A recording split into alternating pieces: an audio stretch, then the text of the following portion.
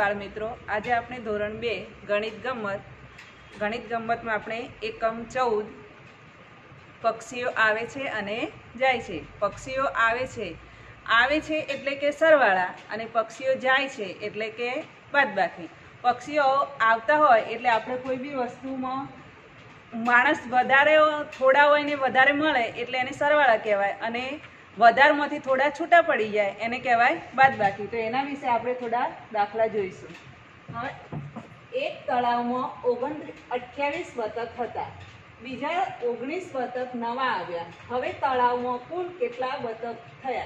હવે આપણે અઠ્યાવીસ બતક હતા અને ઓગણીસ નવા આવ્યા. નવા આવ્યા એટલે આપણે શું થાય? આવ્યા એટલે સરવાળો થાય. તો આપણે આપણે અઠ્યાવીસ બતક અને ઓગણીસ બતકનો સરવાળો કરશું. હવે આઠને નવ કેટલા થાય? તો નવને આઠ સત્તર થાય. સત્તરનો સાત. હવે સત્તરનો સાત મૂક્યો, એટલે બધી ક્યાં આ મૂકવાની? ઉપર.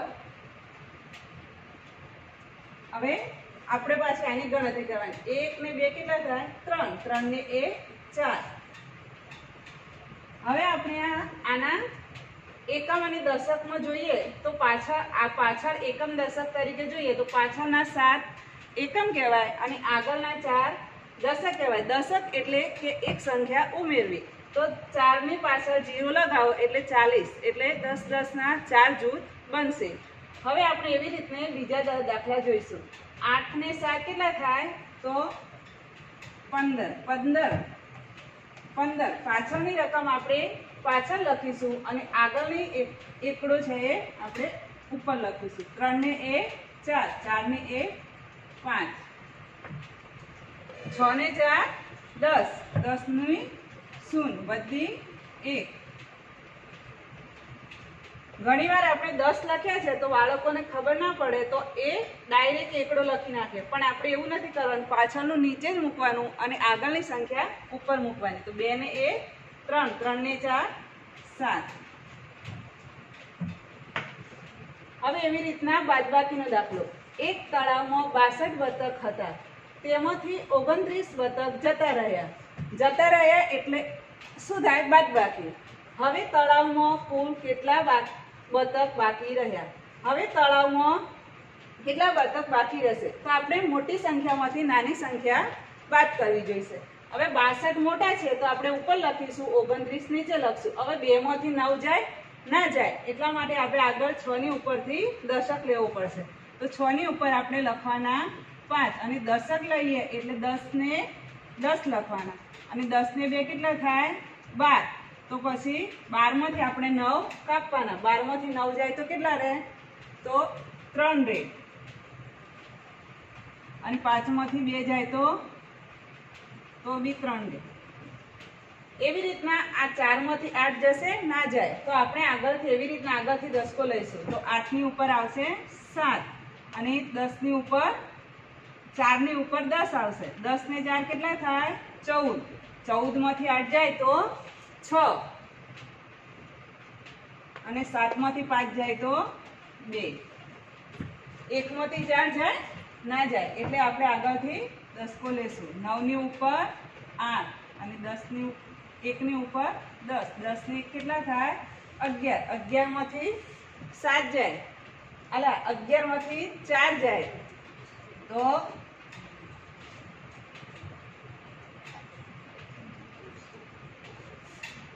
સાત. અને આઠમાંથી છ જાય તો બે. એવી રીતના કોયડા ઉકેલ એક મેળામાં મીનાએ અડત્રીસ બેગ વેચી. મીનાએ એક મેળામાંથી અડત્રીસ બેગ વેચી. બીજા દિવસે તેણે એ જ મેળામાંથી સત્તર બેગ વેચી. મીનાએ કુલ કેટલી બેગ વેચી હશે?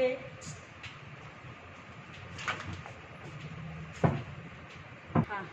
હવે આપણે અડત્રીસ બેગ અને સત્તર બેગ. હવે પહેલા દિવસે અડત્રીસ બેગ વેચી અને બીજા દિવસે સત્તર બેગ વેચી. તો બંને દિવસ એની વેચી છે. તો કુલ કુલ કેટલી બેગ વેચી? કુલ કરવાનું છે. કુલ આવે એટલે આપણે એ વસ્તુનો સરવાળો કરવાનો. એટલે આપણે અડત્રીસ વત્તા સત્તર. અડત્રીસ બેગ વત્તા સત્તર બેગ તો આઠ ને સાત કેટલા થાય? પંદર. પંદર નો પાંચ વધી એક. ત્રણ ને એક ચાર ને પાંચ. કુલ બે. બે છે.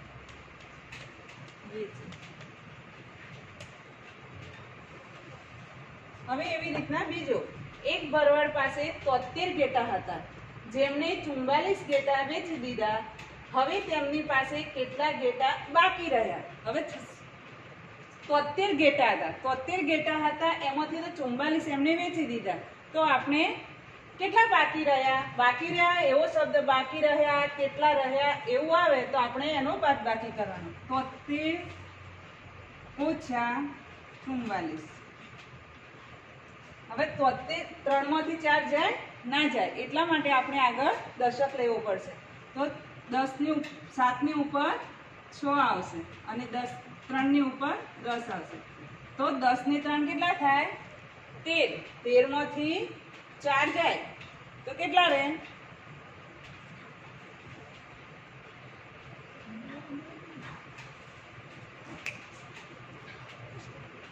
નવ બાકી રહ્યા.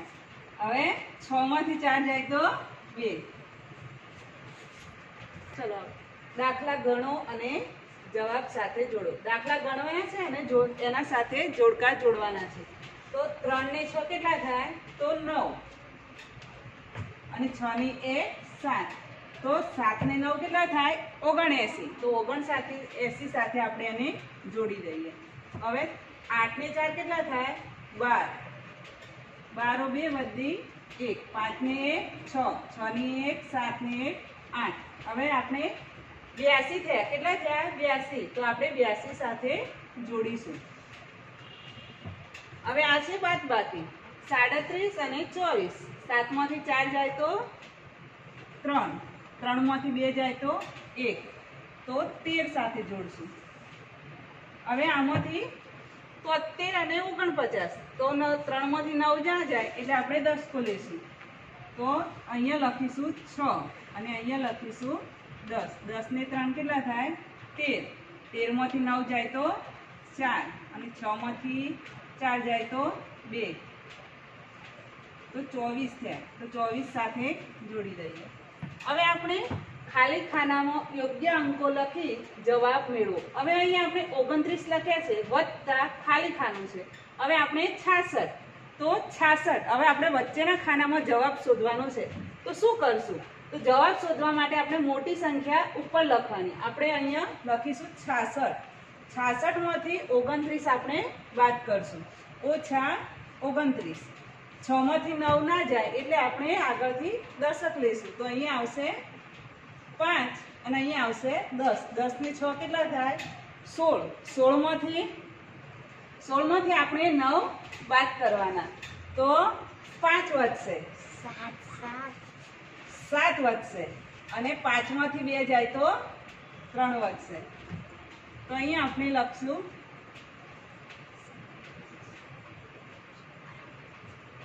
હવે એવી રીતના અહીંયા લખ્યા છે ત્રેવીસ.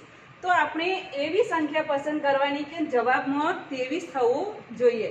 તો આપણે પાછળ ત્રણ છે, એટલે આપણે એવી સંખ્યા ઉપર નીચે લેશું. બે અને એક, અથવા તો એક અને બે. તો આપણે અહીંયા એક અને બે લખી દઈશું. અને બે છે, એટલે બંનેમાં એક એક